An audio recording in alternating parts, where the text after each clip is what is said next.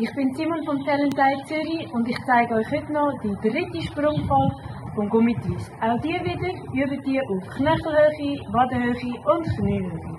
Viel Spaß damit. Loop it!